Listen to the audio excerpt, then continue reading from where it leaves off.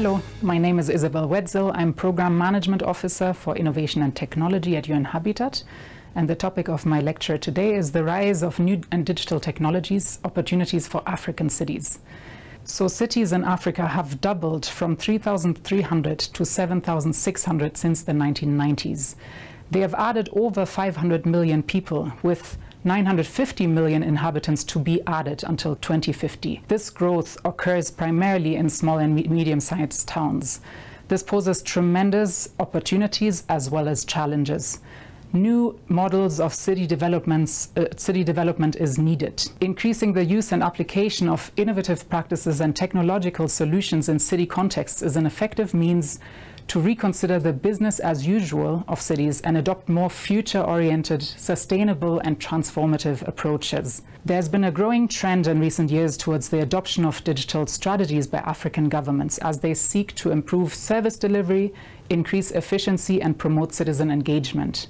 For instance, the Digital Transformation Strategy for Africa, which was developed by the African Union in 2019, promotes the adoption of digital technology and increases digital literacy across the continent. The strategy calls on African governments to develop digital policies and strategies that support the growth of the digital economy and promote social and economic development. However, there's not yet any definitive number of African local governments that have adopted digital strategies so far. What is clear is that technology plays a transformative role in shifting cities towards becoming more innovative, as it puts people at the center. Many cities already utilize digital technologies to deliver services, manage urbanization processes, communicate with their residents, for example cities must embed these digital human rights uh, principles uh, in order to mitigate risks and ensure that access to data and services, as well as people's rights, are protected.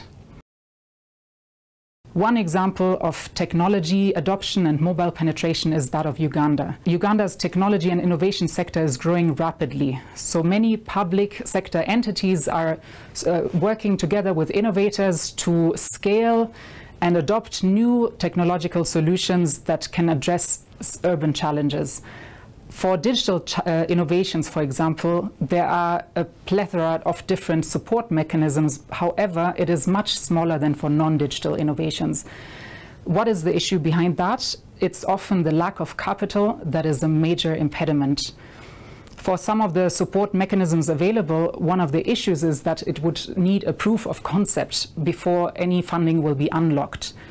In the absence of a strong venture capital scene, uh, startup or seed funding is difficult to acquire, which in turn creates a high risk profile for innovators.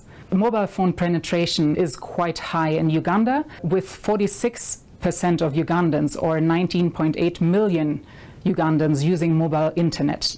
However, smartphone adoption is still low, with 16% of smartphone users in Uganda only, compared to the sub-Saharan African average of 30%. Many Ugandans uh, also rely on lower internet connectivity, that is 61% that are relying on 2G internet. So what we can see from this example is an expansion of availability and access to ICT infrastructure However, cities and municipal governments still have to recognize how digital innovations can unlock further opportunities also for their low-income residents and improve their livelihoods and access to services.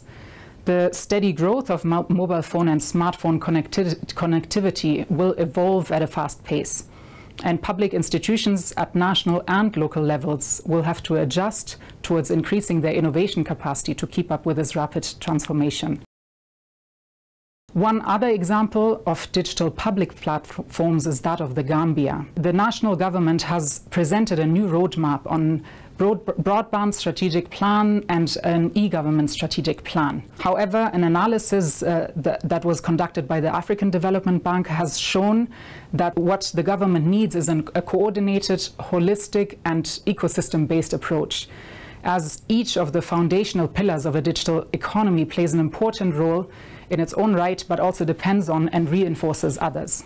So for example, if you don't have stable access to the internet, And if you don't have um, high level of digital literacy, which is also set up within a clear interoperability framework, that means among different departments, you cannot successfully set up digital systems, for instance, a payment platform that benefit all. Now, the recommendations to the Gambia in that same report have shown that the government has to improve efficiency and interoperability of these government operations, which also includes looking at how to facilitate strategic and coordinated leadership for these digital platforms.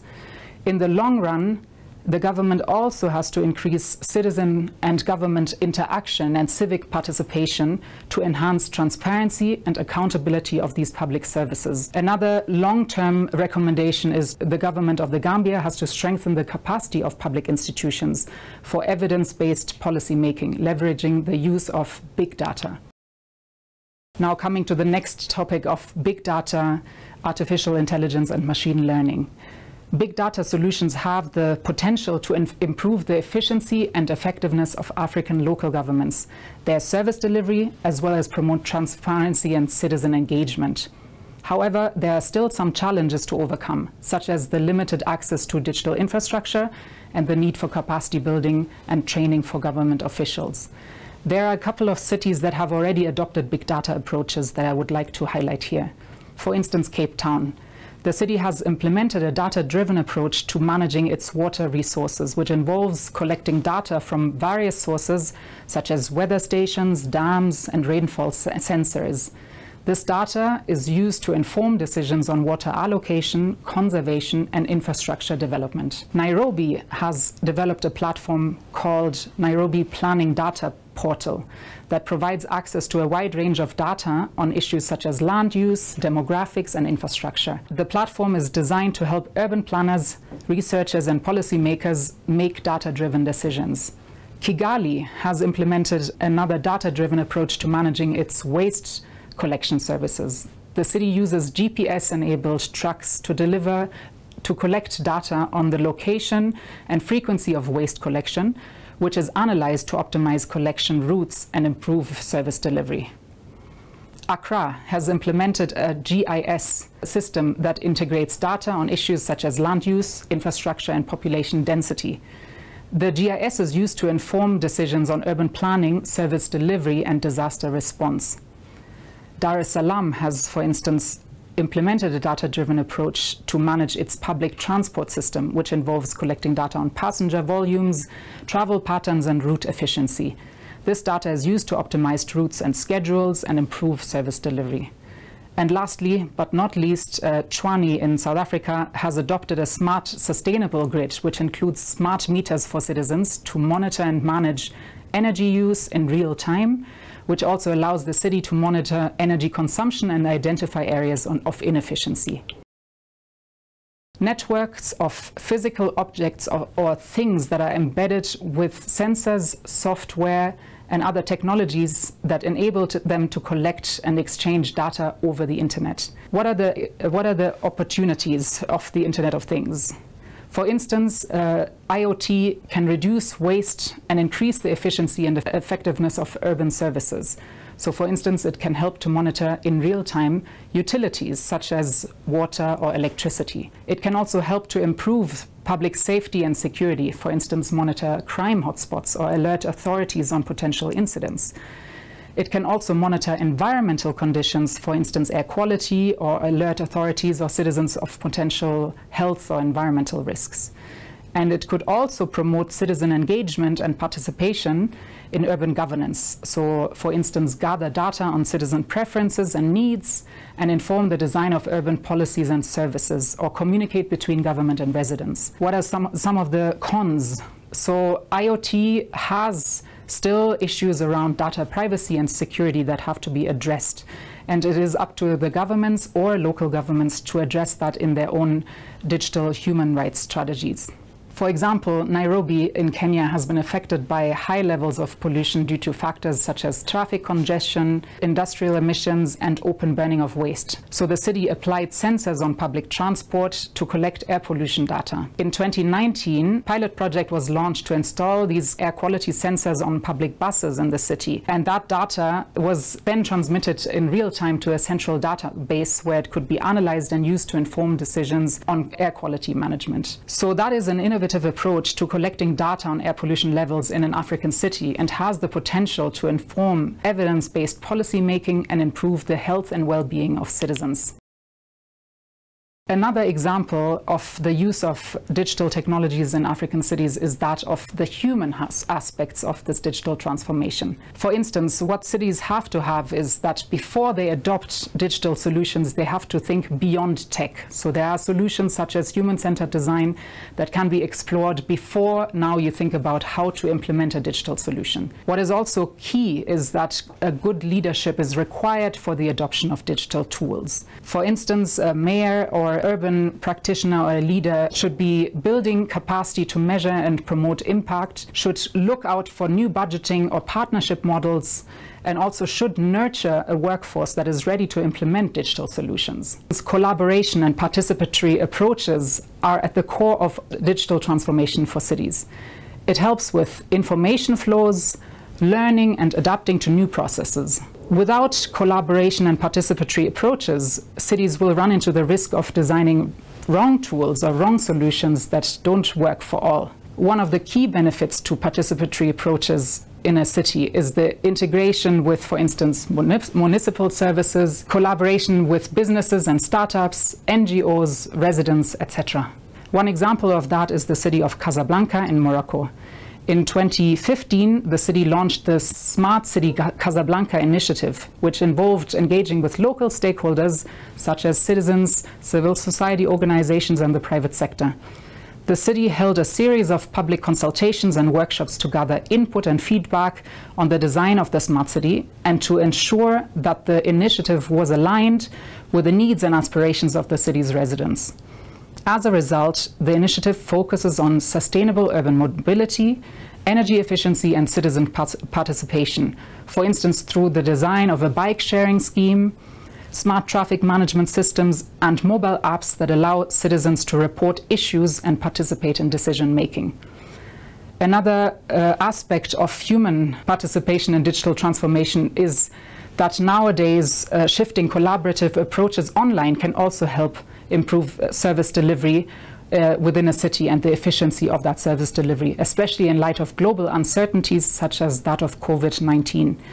Uh, the example I want to give here is uh, four cities of the ASToN network, which is Kumasi, Bamako, Nouakchott, and Matola, that got together to enhance their existing systems with digital tools and tackled urban challenges based on their local priorities, but in collaboration with each other to explore how cities can also support each other in that journey.